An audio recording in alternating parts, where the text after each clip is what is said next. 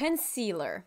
It's always a super tricky thing to do. It's always gonna crease, it looks cakey, it doesn't look good, it doesn't feel right, and it's just very difficult overall to get the nice like a nice amount of concealer. So i'm to tell you all the tips and tricks that i found while testing products, doing all of these stuff, and how I keep it from creasing under my eyes. So before we get into it, make sure to like the video if you want to see more videos like these and consider subscribing to my YouTube channel if you want to see five videos a week, Monday to Friday, all on beauty related. So I know other people might have talked about it before, like Wayne Goss. I think I saw Alexandra Anele talking about it. If that's how you pronounce their names, I'm really sorry if, if it's not like that. All right, so step one that I have to tell you is to moisturize the hell of your under eye. And that's one thing that you should definitely do. I put a couple of eye creams under my eye. I bring even my regular cream all the way under my eyes and then add on top on top. And even now I feel like it's not enough. I feel dry. My skin is just dry overall. And the problem with having dry skin sometimes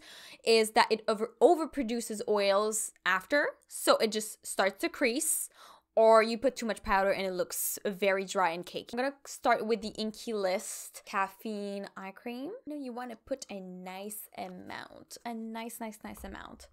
I put a little bit.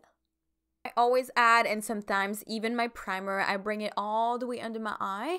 And you wanna make sure you tap, you know, under your eyes, in your creases, where there's lines and you wait a like a couple minutes so it's really really into your skin. It's really about trying everything that will work for you uh, but this definitely works for me so. And you're gonna avoid getting wrinkles throughout the day um, and like fine lines if you're moisturized properly because sometimes i don't and i can definitely see after i wash off my face and everything i feel like i can see some lines and i'm only 22 I know, but my under eye is just that's how it is, and it's my genetics. I can't really do anything about it. So then I add another one on top of it, which is the Ole Henriksen uh, Banana Bright Eye Cream. The reason why I add this one on top is because it has a little bit of a yellow cast and it's gonna cancel out the blueness that I have under my eye. So if you don't have a color corrector um, or anything like this, because you can you can add a color corrector, um, I recommend you getting a cream that has a little bit of yellowness under in it and it's gonna help color correct and make your eye look brighter. So this seems pretty hydrated. Now I am passing to my regular primer, which I will bring all the way under the eyes as well. And this is the Marc Jacobs Undercover Primer, the coconut one. Super moisturizing. It feels super nice on the skin and it really helps with everything bring it all the way under. And that's what I call super, super moisturized. And all the tips and tricks that I'm telling you right now, it can be for anywhere on your skin where you have a lot of fine lines and that it like creases or anything. So on the side here, under your eyes, on your forehead, in between here. So it's really for anywhere in the face where it creases a lot. Now that we're all prepped, primed, moisturized, everything, and you feel the plump into your skin, which is amazing by the way. The next step that is extremely important and I've been doing it for a while and I absolutely love it. It's adding an eye primer under my eyes. I talked about this trick in other videos, but I really wanted to have a single video to tell you everything. Um, so I'm gonna show you different eye primers that you could use and some primers that you can't use under your eyes for different reasons. So I have four different primers in my hands like that. And uh, we're gonna start with the one that I have been using. One uh, primer that I recommend is something that is inexpensive and that is mostly clear or that has a little bit of a tint in it. So for example, this eyeshadow primer from Wet n Wild is like $2 maybe, I think. And this one is clear. You just have to shake it properly. You put it under your eye, not a lot, just a minimal amount where you have some lines and you make sure to extend your eye, like your creases, and then you press it into it. And that will just block the oils from coming further out. And it's gonna put the barrier between the concealer and your under eyes, but it's still gonna be moisturized. The other one that I like that I don't have at the moment is the e.l.f. primer. This one is really inexpensive too, and I feel like it would work really, really amazing. The one that I really, really don't recommend is, for example, the P. Louise base.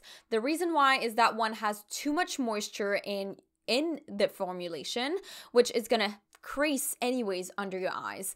And me, when I put this on top of my eye and I put my eyeshadow, it looks absolutely beautiful. But then one hour after, it just creases everywhere.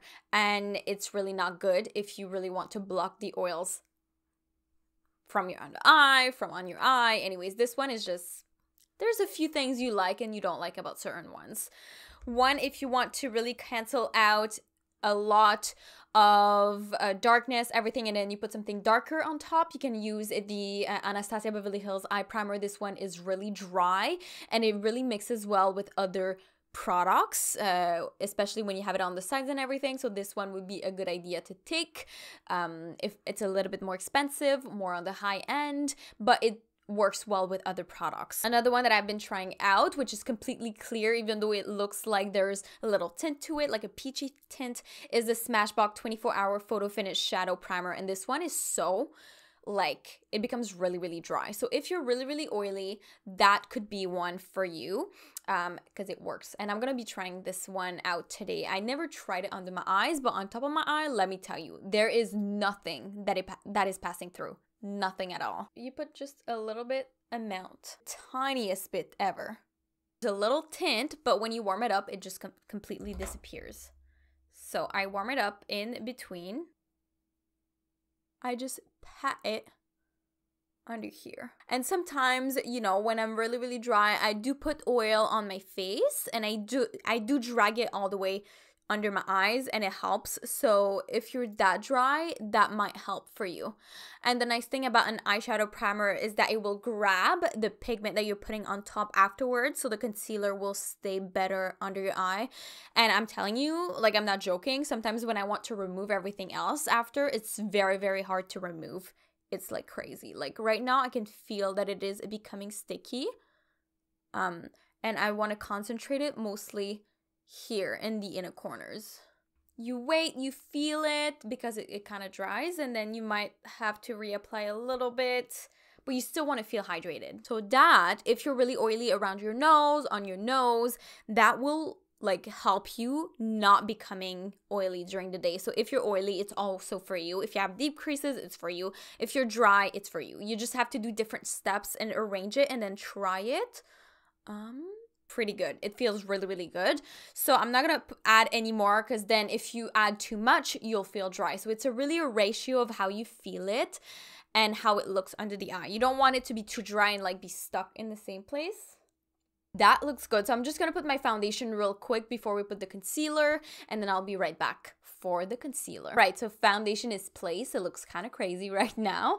Um, but I have different concealers and the more liquid it is, the easier it's going to be putting it under the eyes. But you can always try different concealers, different formulations. I do mostly have cream concealers and I feel like it still works.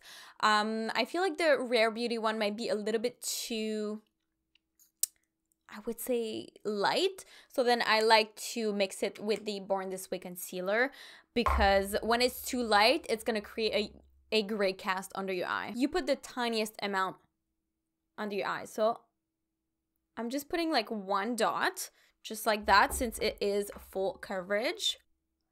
And then I'm just going to be placing it and tapping it right there. As you can see, like it blocks off like the tiniest dot. I don't know if you can see the dot that I put, but it's the tip of the applicator and it covered pretty much everything. I don't really have a lot of dark circles, so I can put less than some other people. I also recommend you using either your finger or a brush because a sponge is really going to absorb a lot of the product. Make sure to tap it into those creases so you really open up your eye. You do weird faces to extend those lines the minimal most minimal amount of product. And then if you want to brighten up i do use another concealer. So let's say the rare beauty one again with the same amount a really tiny dot the most tiniest amount. And i'm not even putting it under my eye i'm putting it under like there. And then when i blend it i'm just gonna drag it wherever i need it. And we blend it I am not saying that it will erase completely the creases because it's again, it's a ratio that you have to work on, but it will definitely diminish any creases that you have. I'm using the concealer Rare Beauty just because when people would try it, it would crease so much. It was literally the worst concealer to put under your eyes. Literally the worst.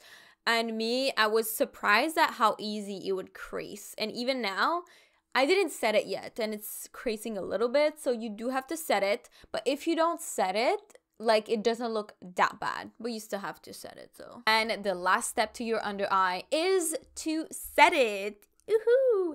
And if you have a hard time with setting under eye for it to look cakey and everything, I highly recommend you getting a setting powder spe- specially, especially specified all of these things for under eyes. So the one I'm going to be using is the e.l.f. under eye powder, which is a really, I'm telling you, this one is so good and it's only $6.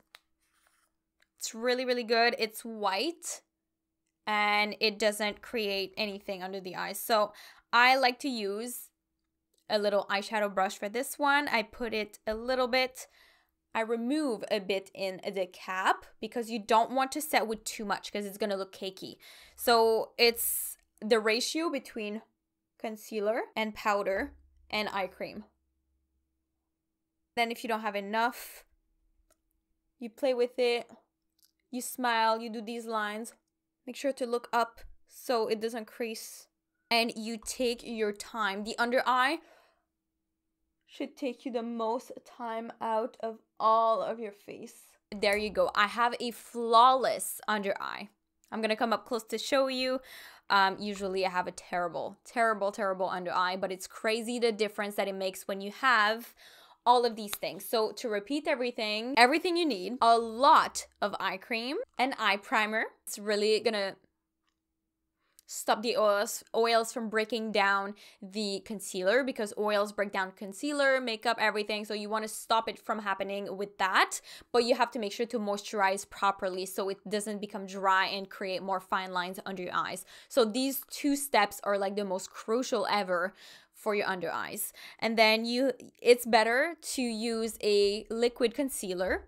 Um, but you can use cream, you can try with a lot of different things. So me, uh, most of it I use the Too Faced Born This Way, even though it's more of like a cream concealer and this one to brighten which is the rare beauty concealer i use it to brighten and i put the least amount possible so mo- like less is absolutely more in this case especially. If you want to put less concealer make sure to have a color corrector for your under eye um, and something that you really don't need to apply a lot and just pat it. Never like swipe anything. All of these products I pat and it stays in place. It doesn't move. And even now, it's not gonna move. It's gonna look just flawless. You need an under eye powder. So you might have one eye powder that is just your regular powder and it works amazing for you. I do have to have a different one because of my under eyes, because of the yellow cast, like the Laura Mercier setting powder, it turns kind of yellowish under my eyes. So I do use this e.l.f. one a lot and it works absolutely beautiful. It's drugstore. So again, drug drugstore products work wonders under your eyes if you layer them properly and if you put the right amount of product. So, you know, sometimes you have troubleshooting, like I said uh, earlier. So, if it creases still, under your eyes. So that might be just because of the concealer itself and that you didn't apply enough powder. It's like the ratio powder to concealer is really important.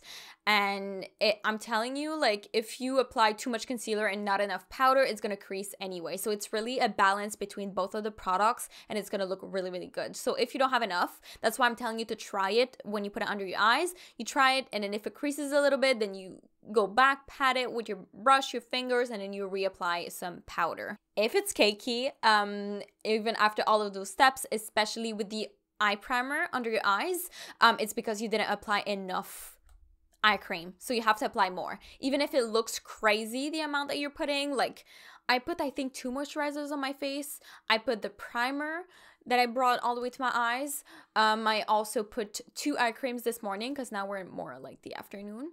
Um, and I re-added more, more eye cream, the primer under my eyes as well. So I put a lot of things under my eyes to keep it from creasing. And don't be shy. You really have to try it, and it works. I'm telling you, it works. It's magic. Thank you, Wayne Goss. Like you're like your tips and tricks are needed. If it's too bright, um, that's what I talked about earlier with the gray cask and everything. That's why I use two different concealers. So one that is more like my skin tone, um, the Too Faced, and the one that is lighter to brighten up certain areas, especially that I have like a holo, like like I have this it's not bad, okay, but it's fat right there uh, where my nose is. And then after that, it's very thin. So you can see the darkness seeping through over there. So that's why I put this under my eye. And then the lighter concealer, I put it way lower. So there's barely any chance of creasing for this one. Then try to have like a fast absorbing eye cream so it doesn't take too long and it doesn't just comes out. You know, because sometimes